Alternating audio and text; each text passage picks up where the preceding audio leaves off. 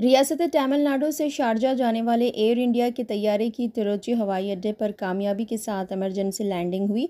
तैयारा तकरीबन साढ़े तीन घंटों तक फ़िज़ा में चक्कर काटता रहा। इस बारे में मुसाफिरों को कोई इतला नहीं दी गई। मुसाफिरों को बताया गया कि मामूली तकनीकी ख़राबी थी। दूसरी जानब तैयारे में सवार मुसाफिरों की जान बचाने के लिए पायलट बादलों के दरमियान जिद्दोजहद कर रहे थे। इतलात के मुताबिक एयर इंडिया एक्सप्रेस की परवाज़ number one X six one three ने तिरुचि हवाई अड्डे से शाम पाँच बजकर बत्तीस मिनट पर उड़ान भरी।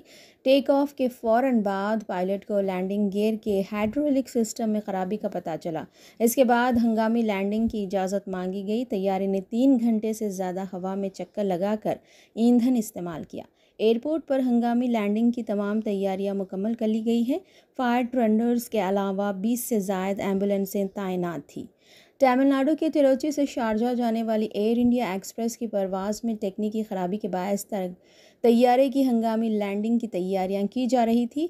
जहाज़ में 140 मुसाफिर सवार थे। तैयारे का ईंधन हवा में चक्कर लगाकर कम से कम किया जा रहा था ताकि हंगामी लैंडिंग में आसानी हो और नुकसान कम से कम हो।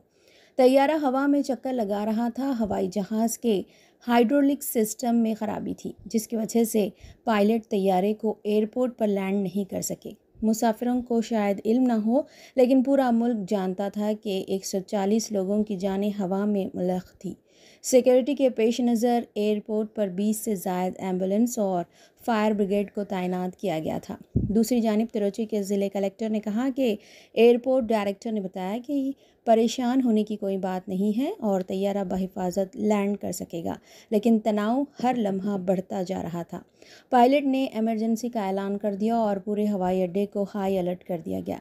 हंगामी लैंडिंग के लिए तमाम तैयारियाँ शुरू कर दी गई। मीडिया में ये खबर आते ही लोग एयरपोर्ट के बाहर भी जमा होना शुरू हो गए। तिरुचि हवाई अड्डे के करीब लोग घरों की छतों पर चढ़ गए।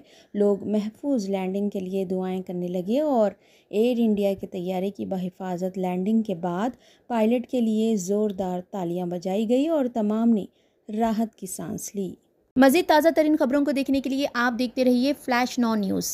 चैनल को लाइक, शेयर और सब्सक्राइब करना ना भूलें।